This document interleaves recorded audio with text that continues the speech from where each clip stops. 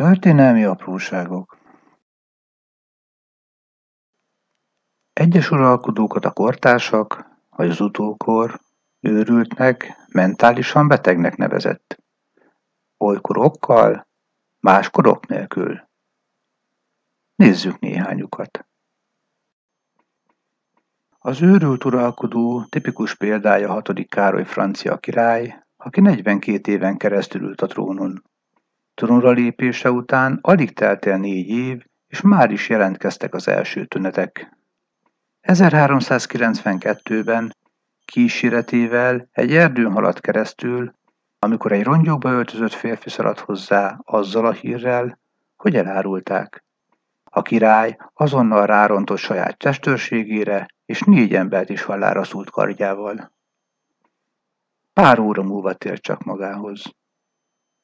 A következő évben, 1393. január 28-án egy bált rendezett, ahol négy beöltözött és egymáshoz láncolt társával együtt meggyulladt. Bár az életét megmentették, a többiek még fél órán keresztül lángokban álltak, és pár napon belül belehaltak az égési sérülésekbe. A király talán ekkor őrült meg igazán, mert ettől kezdve hol idegrohamokat kapott és őrjöngött, hol pedig apatikusan nézett maga elé, és semmivel nem foglalkozott. Egy idő után már azt sem tudta, hogy ő kicsoda, és a családtagjait sem ismerte meg, és mindenkinek elfelejtette a nevét.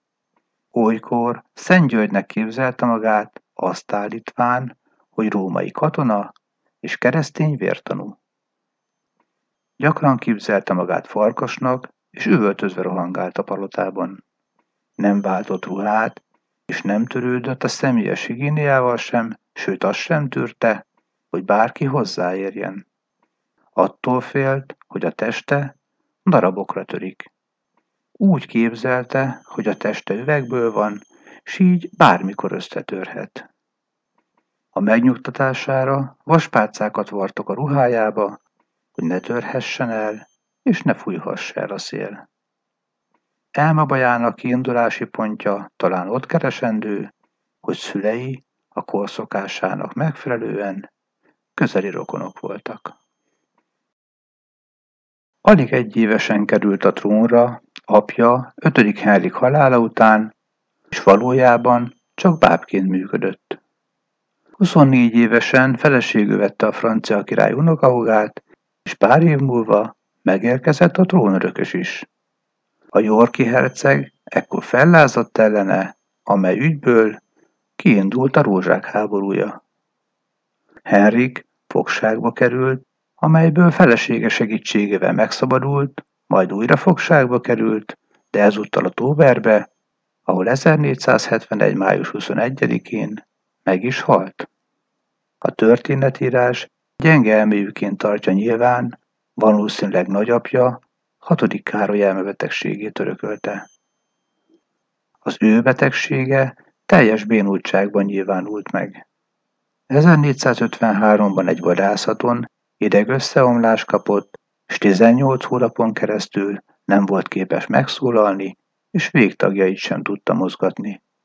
A sorsát végképp eldöntő csatában végig dudorászott, énekelt és nevetgélt.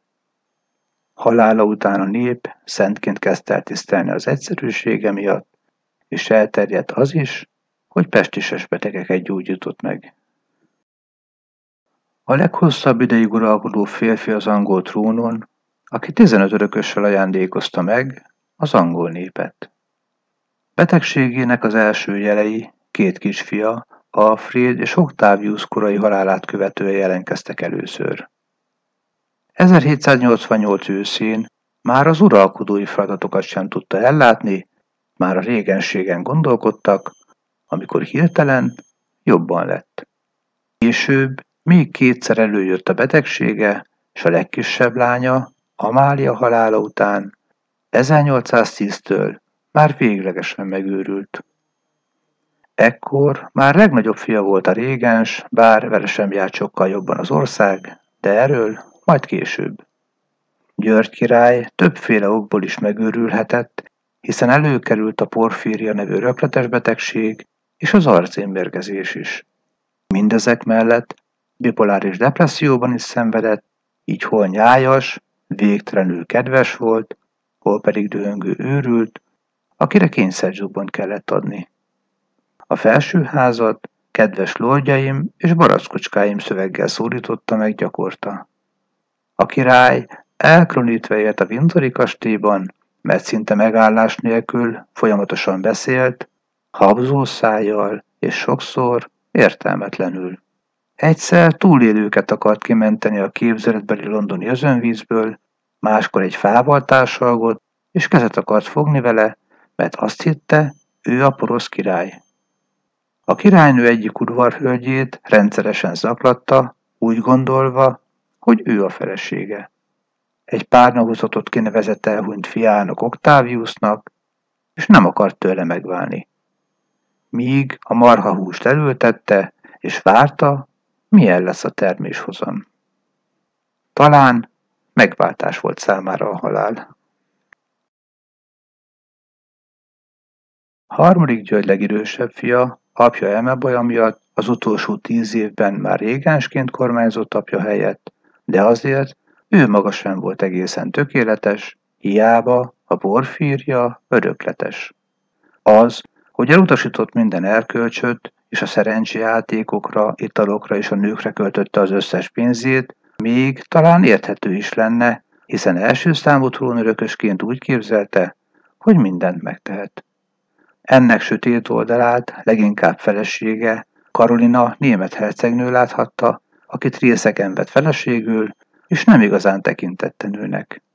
Három alkalommal próbálkozott, és végül is sarolta megfogant, és megszületett, ezzel a dolgot el is intézte.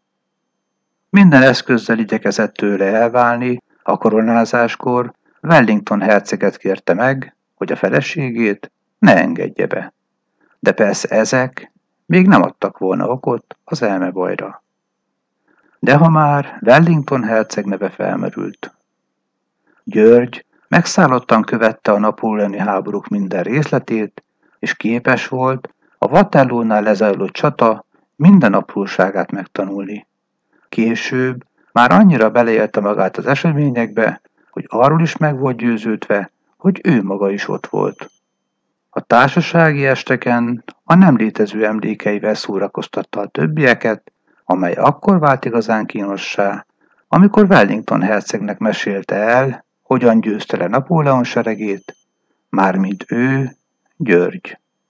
Az csak mellékszál, hogy Napóleont valójában Wellington herceg győzte le.